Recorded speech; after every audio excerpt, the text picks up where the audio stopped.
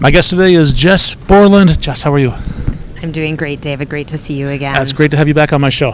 Thank you for what having uh, me. I heard you were at PASS Summit today. I was. Tell me about Um, that. So, for those of you that don't know, PASS Summit is the biggest SQL Server and data conference in the world. Yeah, it's And, like 2,500 people. Uh, yeah, it's gotten up to close to 5,000 now. Oh my gosh. I was way underestimating. It's growing significantly. Um, and it used to be very focused on SQL Server, expanded more to cover analytics, Azure, and many other topics. Um, and so it's great to see the community growing. It's great to see the topics growing. And I was even speaking on What did you speak a new topic for me. Tell me. Um, so I talked about roles and responsibilities of the Azure data engineer. okay. So earlier this year, Microsoft uh, released some new certifications around tools and services and platforms in Azure.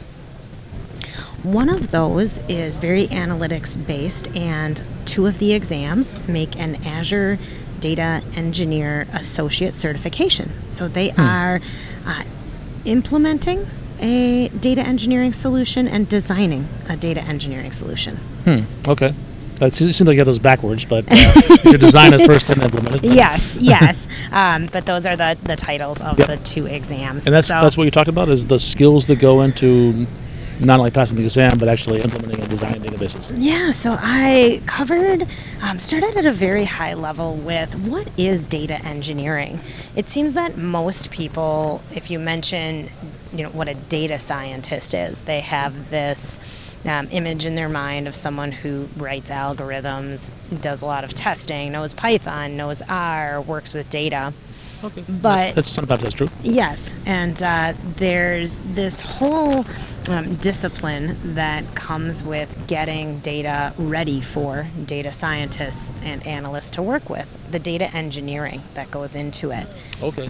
So that's what data engineering is. It's preparing data so that it can be used in a useful way to, to, to, to do some real work. Yes, Right. yes, and it's it's the sometimes the data scientists do it. A lot of times they participate in it. Sometimes there's data engineers that do that. It just depends on the size of the team, the size of the company, the scale of the project. Okay. Um, but in in my mind, um, and what I was trying to emphasize is I really feel there's like five um, disciplines within this field, getting the data ready for analysis and modeling um, that the data engineers do, and those are things like being able to build the infrastructure, particularly infrastructure as code. Okay. Um, So when we say infrastructure, what are you talking about exactly? uh, it's building the compute and storage systems that Okay. underlie the data. All right, so Um, that might be a SQL server, a physical SQL server. It, It might be might something in the cloud. might be something in the cloud. It might be a distributed system like HDFS. Okay. So there's a range of different choices. Okay. Just understanding what the choices are, and again, um, infrastructure as code is a big you know buzzword and term lately, and that's important too. hmm Um, the second pillar is um, identifying different disparate data sources and knowing how to ingest them. You know, Hmm. there's such a range of types of data these days. No, yeah, uh, relational, non-relational. Relational, non-relational. Yeah, IoT devices generate data. Just and so data engineers need to really be familiar with just the variety and volume of data that's available to them. Oh, interesting. I, I mentioned, uh, I went right straight to the data stores. You're talking about there's, there's sources of data as well. correct, device. correct. Like just starting with the different Some of that stuff sources of stored, data. it just gets processed. Yeah. This processed stuff gets stored. Yeah, so being able to um, identify the different data that's available and know how to work with it is important. Um, a third pillar that I talk about is the um, building of data pipelines. And uh, just pipelines to, once you've identified that data, bring it into what your destination is going to be. So, you mentioned the data store, which is the important part and where it's going to end up. We have to have a process to get it from where it's being generated from, Uh-huh. the source, to where it's being stored. right, and then you get it in the right format to store it. happily. Mm, Correct. Um, the next pillar is going to be uh, data modeling. What will that data look like in its final form? You know, are we still doing um, star schema? Are we doing Snowflake? Is it going to be even in a structured data warehouse, or is it going to be in something less structured, like a um, data lake? right? And so um, data modeling tools are very important. Um, and then the last pillar, uh, Data modeling tools such as? or I should say, data modeling processes Okay. are more important. I, I try to stay away from diving too deeply into individual tools when talking about just the discipline as it's Okay, on enough. its own, as there's so many tools out there. Alright. Um, and then the last pillar that I like to talk about is um, building the data storage, right? Because in the end, we need to make sure that our data is stored in the correct way. Mm-hmm. It's um, available, highly available, resilient, not corrupted. So Right. those are some key, very high level, not technology specific Yeah. uh, concepts that I think data engineers need to, or the people that are preparing the data for analysis, and data science, algorithms, machine learning, AI, really need to be familiar with and um, comfortable with. And then we can start talking about okay, what is a specific implementation of that? Hmm. And my specific implementation of that was the Microsoft Azure tools Right. for Good choice. data engineering. Great. We're in a Microsoft event. Yes. um, I've got my Microsoft shirt on Okay. even for speaking.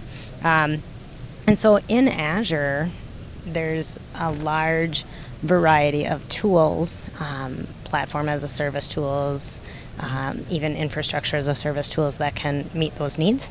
Yeah, uh, every piece of it. There's storage, there's uh, uh, processing uh, services, and just routing services, all sorts of things. Exactly, exactly. So I like to talk about, you know, we talk about um, that first one, which is identifying all those disparate data sources and ingesting them. You know, you have tools like Event Hubs and Stream Analytics and Azure Data Factory to help you with that. Uh, we talk then about where we're, how we're going to cleanse the data as well, right? ETL and ELT, and we have And tools. ETL is ETL is extract, transform, and load. Okay. So a step from taking the data from a source, extracting.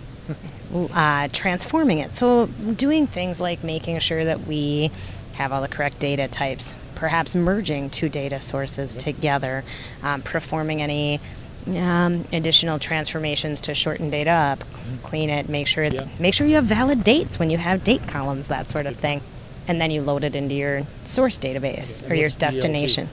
So E uh, ELT is a newer method that's um, becoming more popular when dealing with large, big data, data sets.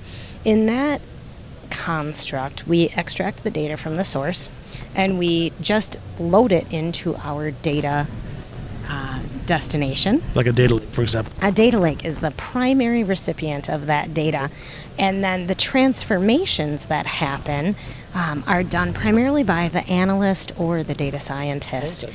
Um, ETL, so the more traditional method, is really designed when we design for when the person that's asking the question of the data knows what questions they want to ask. ELT, extract, load, and transform, is when we have a more wider ranging set of data and we don't know exactly what questions we want to ask. So they want the raw data in the format that it was generated in, and then they can continue to cleanse it, transform it, Right. um, and do different things with it. Right, they do. They may send it to multiple systems, or they may change their mind and say, Yeah. you know, let's restart. We Yes. the core data in its original format. Let's Yes. Um, I talked a little bit about the different types of storage options, and it is things like, um, you know, we have multiple relational data stores in Azure, um, SQL Server, MySQL now, Postgres. We also have Cosmos DB, which offers a variety. Yep, distributed document database. Yeah, and then we also have the data stores like just blob storage, still highly used because Well, it's just everybody It's easy and it's cheap. easy and cheap, and you can store just about anything in it. And data lake, as you mentioned, when you have you know, slightly more structured and hierarchical data, HDFS style data. Um, the real kicker, though, is getting to um, that analysis piece. And so I talked a little bit about one of the Azure Premier tools for data analysts, data um, scientists and even data engineers, which is Databricks. So Databricks is um, a wraparound Apache Spark, Right. which is the in-memory database, allows for really fast computations to be performed on large amounts of data, which is exactly what data engineers are working with and what data scientists More want to do. Every year, yeah. Yeah, and um, so I like to talk about you know, Databricks really becoming an emerging technology, really becoming one of our keystone pieces in the data engineering and data science toolkit in Azure. Um, and one of the things that I like to tell people is if you're interested in that, if you don't already know Python, let's learn Python. It's a good tool to have, absolutely, yeah. It's a great language. There's um, so much of data engineering, data science, and just data work in general now is becoming a lot more um, flexible with Python and a lot yeah, more it has driven. a lot of uh, libraries that are already pre-built to do things like uh, visualization uh, slicing and dicing. Analysis, acquiring data, mathematics. a lot of math libraries, things like that. yes, It's, so got, it's got a rich ecosystem around it. it does. That language yes. itself is actually pretty small. Yes. So, so yeah, that was my session. I talked uh, about the data engineering discipline at a high level, and then those tools and services in Azure that tie directly to it. And you know, the the real crux of it is no company has less data than they did a year ago, Right. and no company wants to say. We're just going to continue to ask reactive questions about how did we do last year? How did we do last month? What was our failure rate on this device? Companies want to look at the data they have and start asking questions like, based on what we have in the past, can we predict what will happen in the It's future? information. It's much more valuable, that predictive analytics. And so the discipline of data engineering helps a company Hmm. start getting to that point. Did you have a good crowd for this session? I had a great crowd for this session. Almost 100 people were That's there. impressive. And a great enthusiastic crowd asked some great questions, which I always like getting. Why do you think there's so much enthusiasm for this topic?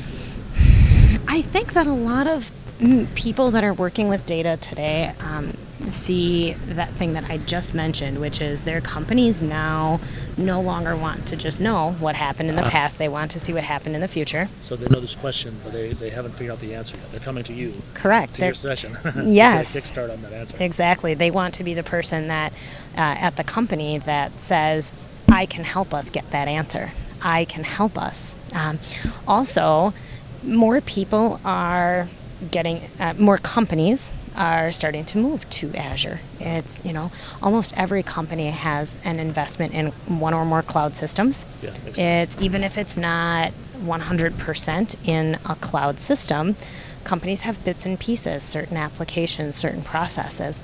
And so a certification in Azure data engineering um, becomes more valuable because then you can show that you have the skills to use those cloud tools, which customers which and companies are using. Yeah, I uh, I have mixed feelings on certification. I think they're As they do have I. value. they're, they're, they're nice. They show a, a level of competence, and they also help you to study. They help you to learn. It's a big value that I always get out of it. Yes. And uh, but then I don't want to go too far. They, there are limitations to it. Yes, they're not just just The passing a certification. really what, what you're after the experience. Yes, exactly. And yeah, I so I took these certification exams back uh, in.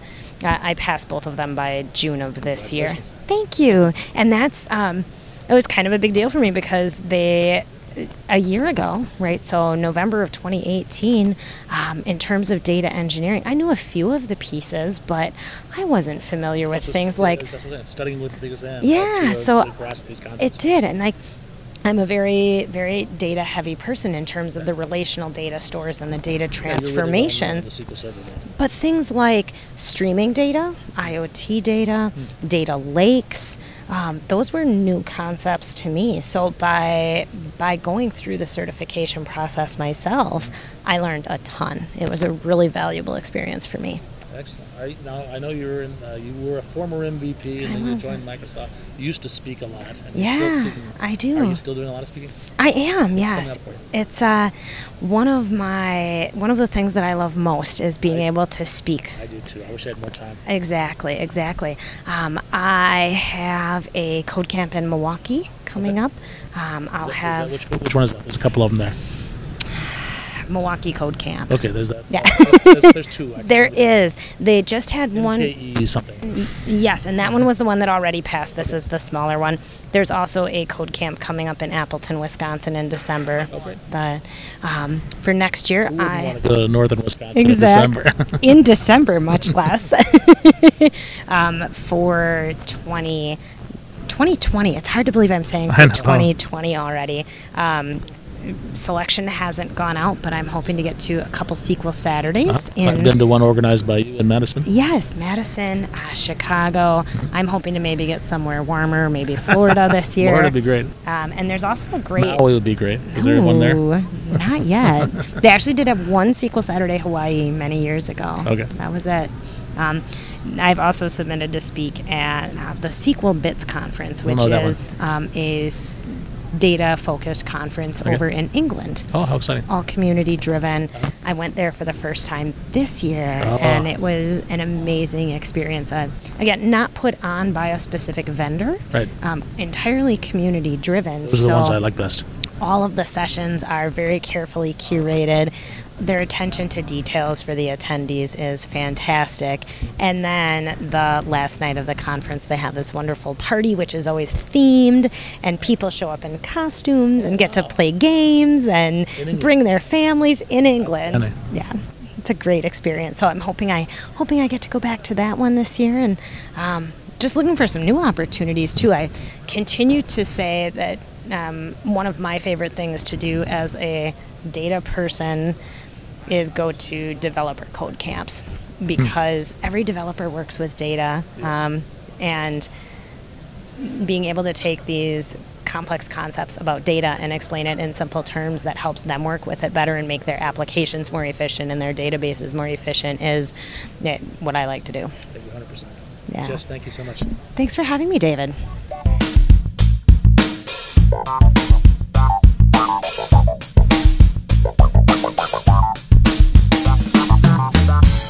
One of the things that I like best about learning a new technology is that I can share that knowledge and make new friends.